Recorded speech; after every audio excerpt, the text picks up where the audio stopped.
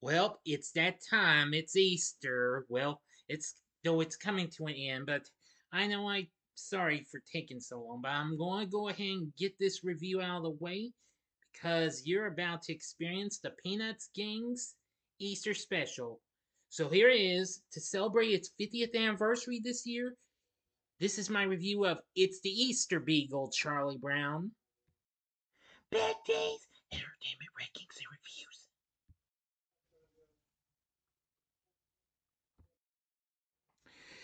Greetings, my fellow YouTubers, and happy Easter! Welcome to Big D's Entertainment Rankings and Reviews. My name is Dual, better known to you as the Big D, and this time around I bring to you a review of the 1974 television special, animated television special, that is. It's the Easter Beagle, Charlie Brown. Produced by Lee Mendelson Film Productions and Bill Melendez Productions, originally premiering on CBS on April 9th, 1974, so I'm just a little early uh, for its anniversary. And directed by film Phil Roman.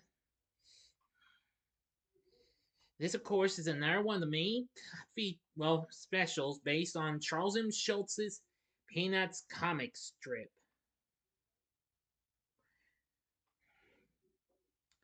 Yep. Anyway, let's get into the story. While most of the Peanuts gang are getting busy, well, they're getting ready to be busy for Easter, Linus Fuel tries to convince them that it's a waste of time and that the Easter Beagle will take care of everything. Only Charlie Brown's sister Sally believes him, though she remains skeptical after the misadventure they had with the Great Pumpkin on Halloween. Elsewhere, Peppermint Patty and Marcy attempt to color eggs, but as it's Marcy's first time, she doesn't know how. Their first attempt fails as Marcy fries all the eggs on a griddle, making fried eggs. Second fails when she tries cooking more eggs on a waffle iron, then in a toaster, which of course is unsuccessful because it can't fit in the, the slots, and roasting them in the oven. Well, on a third and final attempt, uh, Peppermint Patty spends the, last of her allowance on a third card. After she spends the last of her money with, she explains to Marcy that the eggs are supposed to be boiled. Marcy boils them as told, but you guessed it, she incorrectly does it. Instead of keeping the shell on, she cracks the eggs out of the shells into a pot of water and scream and Peppermint Patty just screamed that she made egg soup, egg drop soup, that is.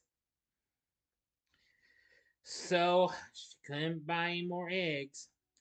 Woodstock wakes up shivering in his nest after a cold spring rain, and he goes for help from Snoopy, who buys him a birdhouse. But at first, Woodstock hates it, but soon makes into a swinging bachelor pad, complete with television, contemporary artwork, a sunken bed, modern furniture, and a quadraphonic stereo system. Snoopy's curious. He gets his nose stuck in the entry hole and causes the birdhouse to share, so he buys Woodstock another one. Much to Schroeder's chagrin, Lucy believes that Easter is the gift giving season, so she decides to have her own private Easter egg hunt, painting and then hiding the eggs to find them on Easter morning, using a paper, pen, and pencil to write down their locations. But unknown to her, well, I'll tell you more as I go ahead and go for the ending. Well, the rest of this and the ending.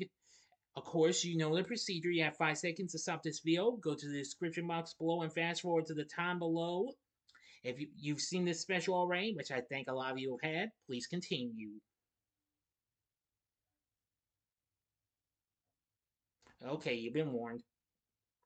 Well, Snoopy falls close behind and snatches up one egg at a time. Once Easter morning arrives, and so is the Easter Beagle, tossing eggs to everyone, including Woodstock in his new birdhouse, and to Lucy, whose hand Snoopy furtively shakes.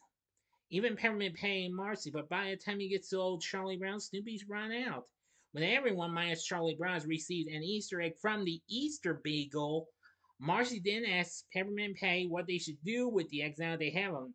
Well, Patty suggests putting salt on them and eating them, which Marcy then does while removing the shell, commenting that it tastes terrible. Well, after the Easter Beagle's visit, Sally becomes a believer, and as for Lucy, she quickly realizes that the Easter Beagle gave her one of her own eggs, thus is still fuming two months later. Linus suggests that she go and talk about it with Snoopy, so she visits Snoopy's doghouse to pick a fight. But however, Snoopy takes the fight out of her with a disarming kiss on the cheek, at which Lucy swoons in excitement for next Easter. Who knew? End of story for realsies. So what did I think of It's the Easter Beagle Charlie Brown? I absolutely love this special. This has become another one of my favorite specials. I'm not sure how I would rank it up there, but this would be in the top, maybe top five or top ten. I know um, um, a Charlie Brown Christmas and a Charlie Brown Thanksgiving would easily be in there. Mm-hmm. And maybe Great Pumpkin as well. So anyway, well, this after this, it would be it would receive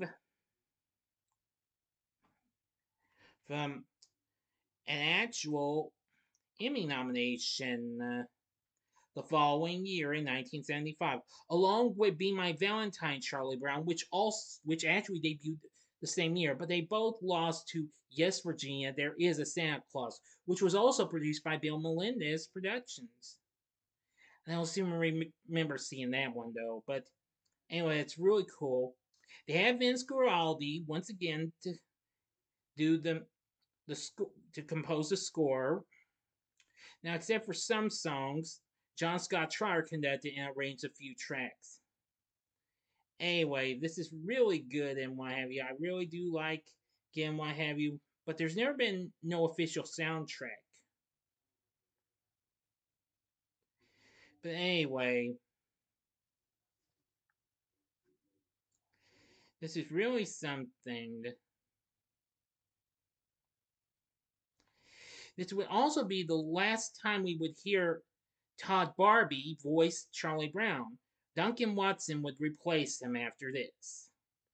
As for the rest of the cast, we have Melanie Kohn voicing Lucy, Stephen Shea voicing Linus, Greg Felton appears as the voice of Schroeder, Linda Ercole voices Peppermint Patty, Lynn Morrison voices Sally, and Jimmy Irons voices Marcy, while Bill Melendez once again does the vocal effects for Snoopy and Woodstock.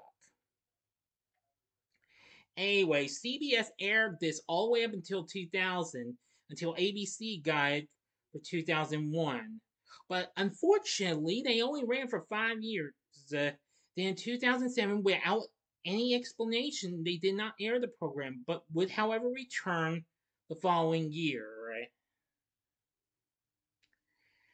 And then it managed to re, but however, they refrained airing it in 2001 and 2012. It aired on Easter Sunday in 2013, along with 1966's Charlie Brown's All Stars. But and and then again 2014. But after that, it has never been seen again, not even on ABC or even PBS, which they had aired Christmas, Thanksgiving, The Great Pumpkin, even though Apple TV Plus had recently gotten the rights to the series, well, to the Peanut specials. Now then, the series, well, this special has been released on physical media, of course. And it, I actually do have the deluxe edition from Warner Home Video, which includes the special It's Arbor Day Charlie Brown, which that's a classic. I'll save that for a future review and what have you. But anyway, my thoughts on this, I think the animation's just as good as the other Peanuts specials. The voice cast is really good. Um, the score from Vince Guaraldi is really good. I just think this is so funny. I especially like the part where um Snoopy looks into that special um sugar egg or something like that and sees the bunnies and what have you, and he pictures himself jumping in onto the scene and dances in the circle with them. That was just so cute. Boy, it was just so much fun and what have you. Yep. So anyway, it's the Easter Beagle, Charlie Brown. I think it's really good. If you have Apple TV Plus, I would recommend you watch this, definitely. If you're into the Peanuts holiday specials, you'll feel right at home with this. And, or if you want on physical media, then you can get it. It's still have it's still available for a pretty decent price. So anyway, that's going to do it. What did you think of It's the Easter Beagle, Charlie Brown? Let me know in the comment section below. If you like this video, click the like button, subscribe, and be a part of the Big D Nation. And join me next time for my April 2024 schedule. So I hope you enjoyed this. And if you did, check out my reviews for these other two holiday specials. Both done by Rankin Bass, though. Uh, the big kings of, well, great animated holiday specials. In the upper left-hand corner is my review of Here Comes Peter Cottontail. The upper right-hand corner is my review of The Easter Bunny Is Come to Town. Or, if you'd like another Peanut special, you can check out my review of Be My Valentine, Charlie Brown, which I did earlier this year. And the bottom right hand corner is the button you can click to subscribe if you like rankings and reviews on movies, TV, music, video games, etc. Then I'm your guy. Thanks for watching and continue to help support my channel grow in the views and what have you. So until next time, I'm the Big D saying, see ya.